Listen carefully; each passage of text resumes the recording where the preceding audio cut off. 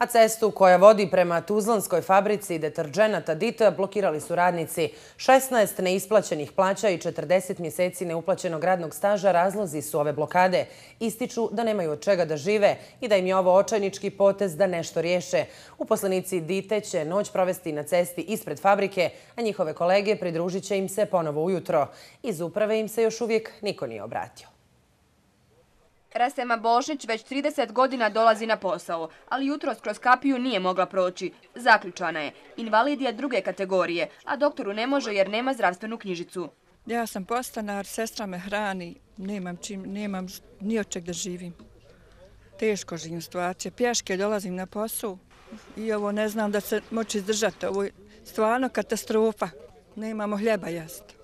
Radnici Dite boje se za budućnost firme, jer kako kažu sadašnji vlasnici je žele prodati Beogradskoj firmi Beohemija, te većinu radnika otpustiti. Razgovori se vode u tajnosti i bez njihovog prisustva, pričaju poslanici. Vlada šuti, znači bili smo baš prinuđeni na ovaj potez. Znači, nemamo još dalje ni onaj pio mio, ni plate, ni socijalno, ni ništa, ništa, apsolutno, i zaključani kapija nemamo 16 plata, nismo dobili 40 mjeseci, nije nam stažujen, nemamo zdravstva. Pogledajte, radnici nemaju čim više djecu u školu isključena je struja, skidaju im satove iz elektrodistribucije iz kuće. Na odgovor kakva će sudbina firme i radnika biti čeka i resorni ministar Željko Knežiček. Dok se to ne riješi, radnici će svakodnevno blokirati prilaze firmi.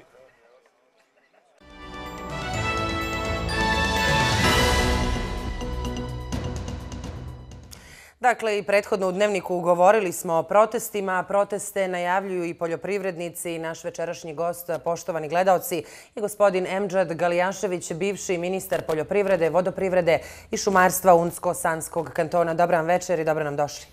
Dobro večer vama i gledateljima televizije 1. Evo, gospodine Galijaševiću, poljoprivrednici su najavili proteste za 4. oktobar u Sarajevu. Vi ste bili ministar poljoprivrede Unsko-Sanskog kantona.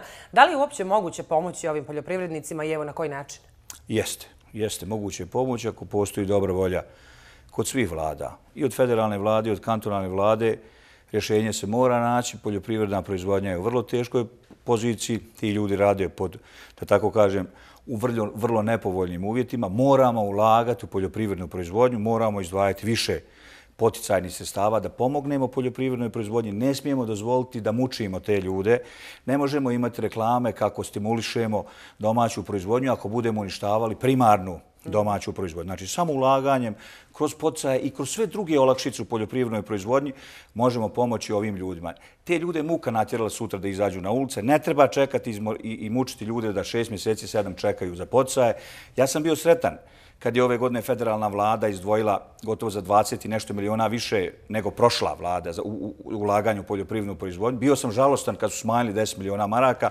Uzmite da mi ne zadovoljamo ni 3-4% od ukupnog budžeta u poljoprivrednoj proizvodnji, dok evropske zemlje iz svojih budžeta za poljoprivrednu proizvodnju izvajaju 50% od svojih budžeta, znači ulažu u poljoprivrednu proizvodnju. Samo na takav način mi možemo zaštiti poljoprivrednu proizvodnju i možemo povećati našu domaću proizvodnju. Bojim se da sad nedovoljno izdvajamo. Ne samo federalna vlada, nego i kantonalne vlade, nego i općine. Više prostora moramo dati primarnoj poljoprivrednoj proizvodnji. Ti ljudi to zaslužuju jer na kraju krajeva proizvodnja hrane je stabilnost svake zemlje. A treba nam svima. Apsolutno da treba ovaj i sigurno da ovi budžeti, bez obzira kakvi oni bili, mora se naći više prostora i ne treba se prema poticajima ići samo kao prema prevari, da to neko nekoga vara. Poticaj imaju svoj smisao.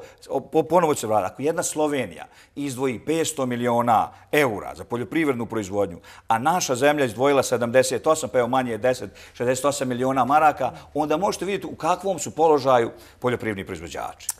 Evo ono što je interesantno jeste da ste proglašeni najuspješnijim ministrom u federaciji, međutim, nedugo zatim ste smijenjeni. Vaš komentar? To je već politika. Ja ono što mogu reći da sam sretan i zahvaljujem se Centru civilne inicijativa da je prepoznao uh, moj rad. Ja sam pokušao korektno, iskreno, pošteno raditi kao ministar poljoprivrede. Prije toga bio direktor veterijanskog zavoda, sedam godina. Isto tako napravio jednu uspješnu laboratoriju. Mi smo u toj fazi prvo e, e iskreno prišli poljoprivrednim proizvođačima. Prvi put zadovoljili neku zakonsku normu Unsko-Sanskog antona, to je da izdvajamo najmanje 3% sredstava od budžeta Unsko-Sanskog antona, pa je to bila jedna poruka Izdvojili smo 4 miliona 300 maraka. Izdvojili smo jedno 2 miliona maraka za uređenje poljoprivrednog zemljišta. I to su sredstva bila koja su bila plasirana u poljoprivrednu ovaj, proizvodnju. I ono što je dobro, napravili smo jedan revolving fond E, skupa s mljekarom Megle, jednom komercijalnom bankom, od 3 miliona maraka gdje smo išli u nabavku e, visokostevonih i mliječnih grla.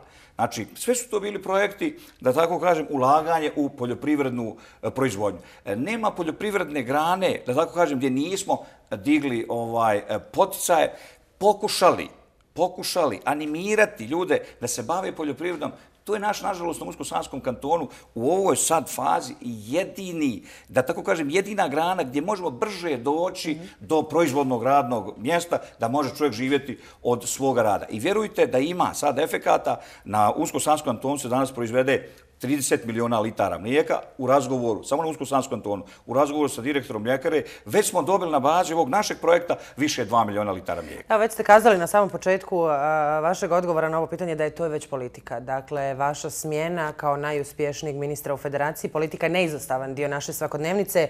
Kako je trenutno stanje u Unsko-Sanskom kantonu? Da li će ponovo doći do rekonstrukcije vlasti?